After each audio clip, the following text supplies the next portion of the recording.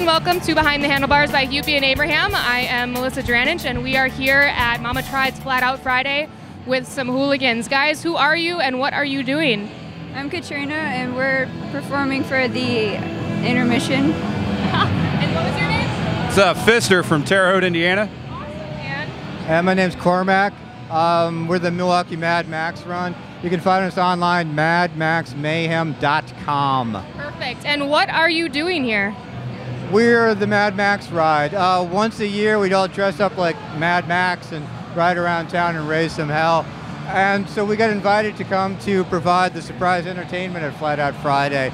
Um, there's going to be an intermission, and we're going to surprise the crowd by coming out kind of pro wrestler style. Going to raise some heck, do some wheelies, and uh, terrorize the crowd for a little bit. Awesome. And did you guys make all of these? Yeah, this is all handcrafted stuff that uh, we got mostly from hardware stores and whatnot. But it's a lot, a lot of artistry going on here. And then is there one in Indiana too? Yeah, it's called the Indy Mad Max Run. Okay, awesome. And you guys do that pretty frequently? Yeah, it's uh, every year. It's every spring in the April. You can find us uh, Facebook, Indiana, Indianapolis Mad Max Run. Awesome. Well, we'll look for you guys at the races. Thanks so much. Ride safe. And this is Behind the Handlebars with Hupy and Abraham.